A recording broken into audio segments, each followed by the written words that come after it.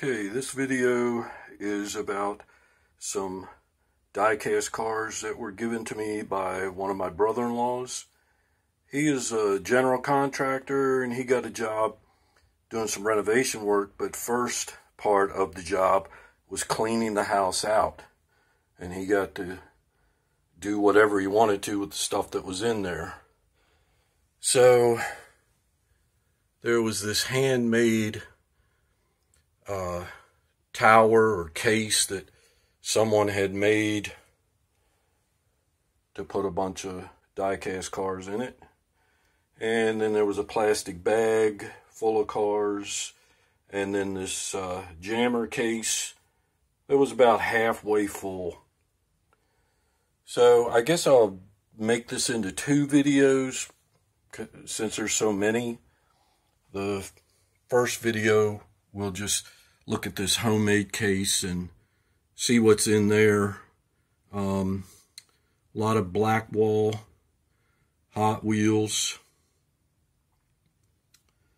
and then I'll probably take some photographs. There's some Hot Ones, got the gold Hot One wheels on them. Uh, there's even some red lines in here. And so what I'll do is take some photographs of the nicer ones. There are some made in China. There's a Corgi Coca-Cola van. Uh, there's some older Matchbox, super fast. Uh, that's a Tomica, Tomica, VW Bug. And there's a um, one of those blown engine cars with the rubber tires. Uh, the name slips my mind right at the moment. There's some more black walls. There's another red line. Another hot one. Another red line. And then Blackwall and another hot one. Also in the collection, there was some bigger scale.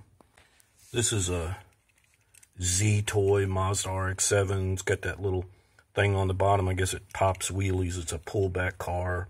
There's a Tonka. Uh, and that's a Matchbox Super King. So, yeah, I'll take some photographs and show the cars and in the next video. We'll go over what's in the jammer case. A lot of nice hot wheels in there as well.